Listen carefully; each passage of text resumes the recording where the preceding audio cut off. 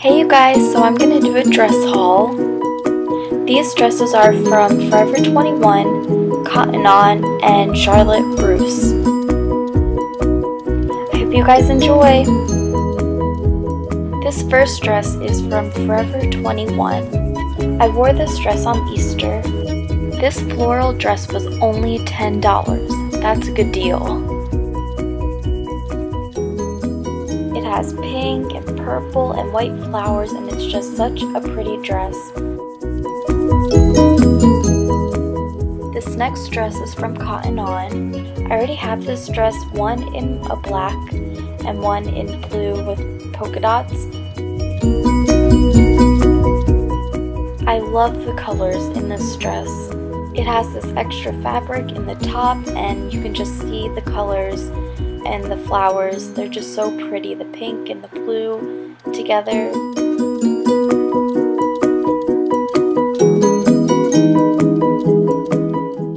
This next dress is also from Cotton On. It's almost like the same dress as the last one, but the fabric at the top has a different shape to it and has less of it. It kind of looks like tie-dye to me, but really they're really small flowers.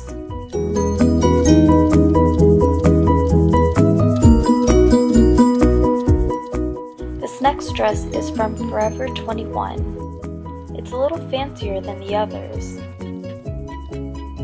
It has the fat straps, it has this lacy floral print, and it's in this peachy pink color. This next dress, I would never guess in a million years I would like this on me. This dress is from Charlotte Russe. And it's one of those dresses where it goes all the way to the floor and I never would have thought that I would have had the body for this kind of dress. It's got the extra fabric at the top and it's in this really pretty blue, which I love. It has straps and yeah.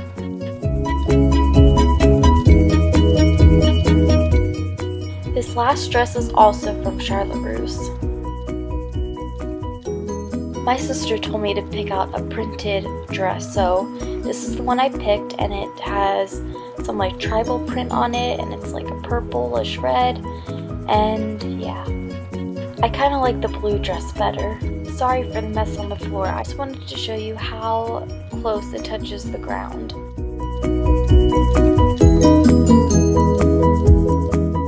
And last thing, which isn't a dress, but I got these shoes at H&M. I actually wore these on Easter with the first dress that you saw in this video. They're just solid black ankle boots.